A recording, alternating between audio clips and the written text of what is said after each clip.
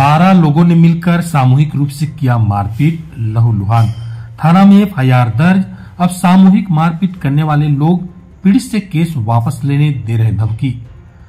पीड़ित के हाथ, कंधा, दांत तथा पीठ पर आई है गंभीर चोट।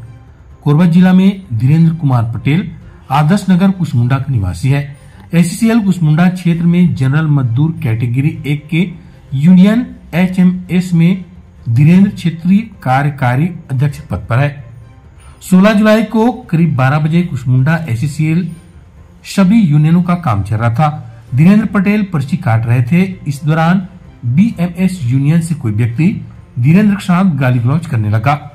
धीरेन्द्र के अनुसार गाली गलौज करने वाले तथाकथित उस व्यक्ति को वह नहीं जानता और न ही पहचानता है। जब धीरेन्द्र ने गाली गलौज करने से मना किया तो बीएमएस पदाधिकारी अमिया मिश्रा पवन सोनी, अर्पित सोनी, अमित कुमार यादव, स्वराज, कृष्ण कुमार तिवारी, सुधांशु त्रिपाठी, विकास यादव, रोहित सोनी, हिरेश चंद, अद्वेश दीक्षित, रवि चौबे, सभी ने एक राय होकर के उसके पास आए और माँ बहन की गंदी गंदी गालियाँ दिया और कहा कि तू बोलने वाला कौन होता है? इसके बाद ज़मीन पर उसे पटक दिया, हाथ मुख का लात घुसे से खूब मारपीट किए। के के तिवारी अपने हाथ के रखे साइकिल की चेन से मारपीट किया। उनके द्वारा मारपीट करने से कंधे, दांत, पीठ और घुटने में चोट लगी। घटनास्थल पर मौजूद अरुण झा सुगना बर्मन, बी ए पिनका, महावीर पटेल अमित उन्होंने इस घटना को देखा। बीच बचाव किए। सामूहिक मारपीट करने वाली घटना से हाथ की हड्डी दो टुकड़े हो गए हैं। आपराधिक प्रवृत्ति व मारपीट को अंजाम दिए जाने वाले लोगों के विरुद्ध रिपोर्ट दर्ज किया गया।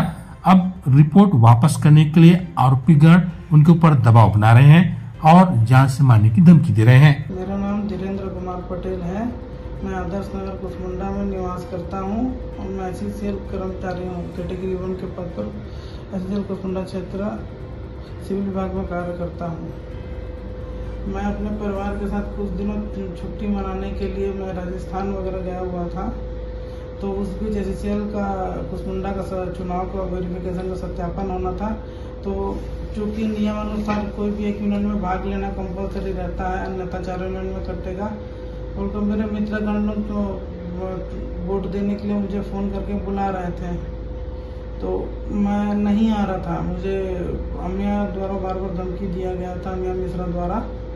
तो मैं सबको करके तो दोस्त लोग बोले कि आके वोट दे चले जाना। टोटल सात दिन का चुनाव था। तीन दिन हो चुका था। चौथे दिन मैं आया सोलह तारीख को शिवनाथ ट्रेन से रायपुर से अपने ससुराल से कोरबा। ग्यारह बजे मैं चुनाव में वोटिंग देने के लिए और पर्ची बांटने के लिए गया। तो वहाँ पे के, के तिवारी कृष्ण कुमार तिवारी ने मेरे से गाली गलौज किया धक्का मुक्की किया। तो मैंने मेरे यूनियन वाले लोग बोले कि गाली गलौज क्यों कर रहे हो? मैंने बोला तो फिर अमिया मिश्रा गाली दे रहा है मार कर रहा है बोल के बहुत ज़्यादा मारपीट करने लगे, धक्का मुक्की करने लगे और इतना मारे, लेटा के बारह पंद्रह लोग ने मारा। सुधांशु त्रिपाठी, पवन सोनी, अर्पित सोनी, रोहित सोनी, सौराज ठाकुर, विकास यादव, रवि चौबे, बाकी लोगों का चेहरा याद है। इन्होंने इतना मुझे अवदेश दीक्षित, इन्होंने इतना ज़्यादा मार दिया कि मेरा हाथ काम करना बंद कर दिया। तो मेरे स्थिति देखते हुए मेरे सीनियर नेता लोग और सी के कर्मचारी लोग मुझे तुरंत कुसमुंडा थाना लेके गए। वहाँ टीआई सर को बताया, पंद्रह मिनट टीआई सर बोले कि सेलेक्टेड आदमियों का नाम दो को सूजन वूजन होगा नॉर्मल होगा।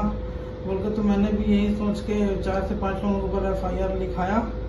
जब मुझे फिर मुलाजा के बाद डॉक्टर ने एक्सरे रिकमेंडेड किया तो मैं कुसमुंडा के एस विभागीय हॉस्पिटल गया, जहाँ मुझे अपोलो रिफ़र किया गया। तो वहाँ पता चला कि मेरे हाथ की पूरी हड्डियाँ टूट गई है दो दो। मैं काफ़ी ज़्यादा परेशान हूँ। उसके बाद आश्वासन दिया गया कि उनके ऊपर कार्रवाई होगा बट उल्टा मेरे ऊपर एफआईआर कर दिया गया कि मैंने उनको मारा है। मेरा हाथ टूटा है मेरे से सब डबल शरीर है बड़े बड़े मैं कैसे किसी को मार सकता हूँ? और मैं था भी नहीं। मैं वोट डालने के लिए आधा घंटे पहले आया हुआ था। मेरे पास इसका सारा साक्ष्य है। उल्टा मेरे ऊपर भी एफआईआर कर दिया गया और उन पर कोई कार्रवाई नहीं हो रहा है। वो खुलेआम घूम रहे हैं। उन मम्मी हमेशा मेरे को बार बार धमकी दे रहे हैं, प्रताड़ित कर रहे हैं यहाँ हॉस्पिटल में हूँ तो भी। बार बार फ़ोन आ रहा है, धमकी पहुँचाया जा रहा है। कंप्रोमाइज कर लो, वरना अच्छा नहीं होगा। मैं कुसमुंडा थाना को खरीद लिया हूँ। मंत्री मेरे साथ है, सारे वाले। तो मैं बहुत प्रताड़ना होगा। प्रबंधन एवं प्रशासन पुलिस में मेरा कोई सहयोग नहीं कर रहा है। इस पर कार्रवाई नहीं होगा तो मैं मजबूरन मुझे आत्महत्या करना पड़ेगा परिवर्तन पाँच से छः दिन से मैं बहुत ज़्यादा तड़प रहा हूँ। मेरे चेस्ट में ब्लड ब्लड जम गया है। काफ़ी ज़्यादा दिक्कत हो रहा है। मैं बात करने से, रहने से बहुत ज़्यादा पेन दिक्कतें का सामना करना पड़ रहा है। मेरे लेफ़्ट हैंड में बड़ा सा रॉड लगा हुआ है। चौदह स्क्रू लगा हुआ है। प्लेट के साथ में बहुत ज़्यादा तकलीफ़ों का सामना कर रहा हूँ। आपसे निवेदन है कि इस पर शीघ्र से कार्रवाई का दोषियों को जेल भेजने की कृपा करें।